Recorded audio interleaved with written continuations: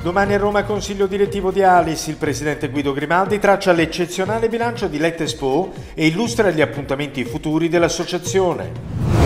I Premier Draghi in Algeria per sostituire un terzo del gas russo, oggi la firma dell'accordo per 9 miliardi di metri cubi di gas in più all'anno. Testa a testa nei sondaggi per Eliseo tra il presidente uscente Macron e la leader della destra Le Pen. Letta, con i populisti l'Europa va in frantumi. Salvini twitta l'amica Le Pen, orgogliosi del tuo coraggio.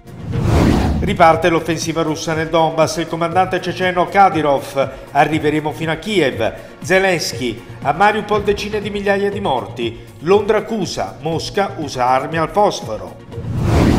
Il virus arretra me allarme long covid, l'OMS, uno su quattro ha sintomi a un mese dalla guarigione. Sileri, curva in discesa ma possibile recrudescenza in autunno.